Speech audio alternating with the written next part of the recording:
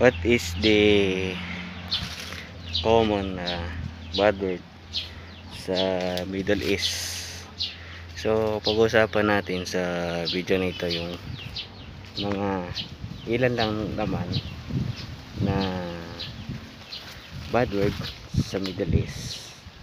So, pag di kayo nakapag-subscribe, pindutin nyo rin yung subscribe at bell icon para updated kayo sa bawat video na i-upload ko.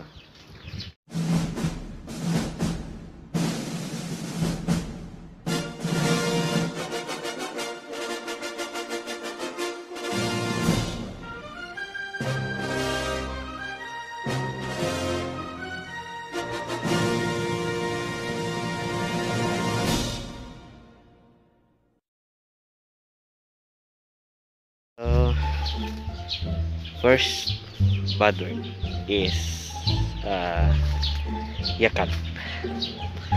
Yakal, which means uh, aso ka, your dog. Ito yung madalas na expression ng mga Arab particularly sa mga Arab na sa pag-away or galit sila sabihin intakal yakal. Ganon. Aso ka. Pagka dito sa atin ah, alam nyo na kung anong ibig sabihin. Yun ang ano ng mga Arab expression nila. Yakal o intakal. Number 2 ay ah, ya majinun inta majinun sira ulo ka. Ito yung minsan may mga pagkakataon tayong hindi maayos ang pagkatatrapaho natin o pinasta na. Medyo naninta. Sira ulo ka pa hindi mo inayos ang trabaho mo? Diba nagagalit sila yun ang ah, pag hindi maayos ang trabaho natin nasasabi tayo uh, majino sira ulo no lo is yahaywan or anim or an animal. Hayop ka. Yan ang din ang expression natin mga Pinoy di ba? Sabihin natin hayop kare di ba? So ganun din sa mga Arabs na galit sila. Yahaywan yahaywan yahaywan ganun sila. Hayop ka. Kumbaga sa Tagalog natin. Or an animal. So minsan nagkayapag-away tayo. Nasasabi ng mga Arabs yun na nagagalit. Yahaywan or nambuli.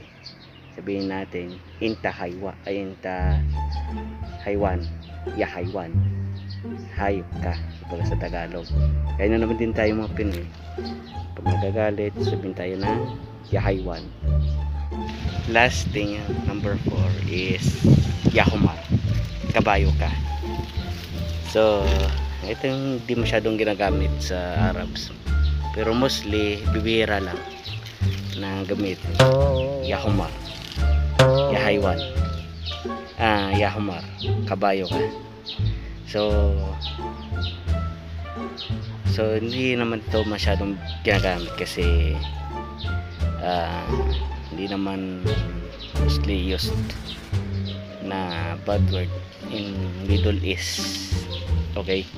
So yun lang ang may share ko na most common bad word in uh, Middle East. So yung mga OFW dyan na nakapagtrabaho sa Middle East ay alam na alam yan magsasabi ko so hanggang doon na lang and uh,